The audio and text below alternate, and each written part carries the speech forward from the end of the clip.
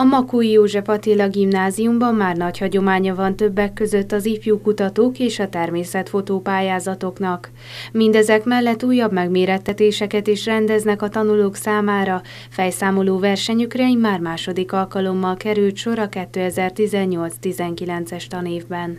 Azt tapasztaltuk, hogy a diákok sokat használják a számológépet érthető módon, ezért egy kicsit háttérbe szorul a fejszámolás, és szerettük volna ezt egy kicsikét előtérbe helyezni.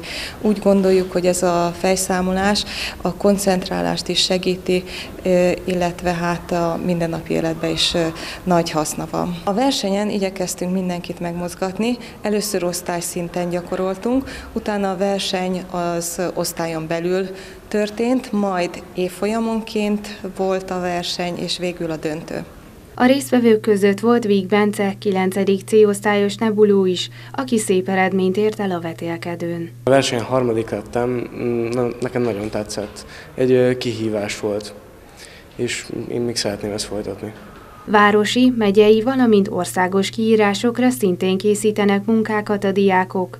A mesebeli kincskeresés nevet kapó pályázatra például 11 művel neveztek a jakból. 2018. októberében hirdették meg, a fővárosi Szabó Ervin könyvtár hirdette ezt a pályázatot, abból az alkalomból, hogy Móra Ferenc kincskereső kisködmön című műve száz évvel ezelőtt jelent meg, és éppen ehhez a témához kapcsolódott a gyerekeknek a feladata. Verseit, műveit kellett illusztrálni Móra Ferencnek, szabadon lehetett választani. Nagyon népszerű volt a cinegecipője, a kecskebál, a csalimese. Hajdú Enikő Ildikó szintén készített egy alkotást, melyel az országos első helyet érdemelte ki. Kör forgásszerű rajzot készítettem, az elején a születéstől indulva, és a végén pedig a halál. És ezt készítettem filctól és ceruza technikával, és én nagyon szeretem ezt a két technikát keverni, és az altatót rajzoltam meg. Miért pont ezt a művet választottad témának?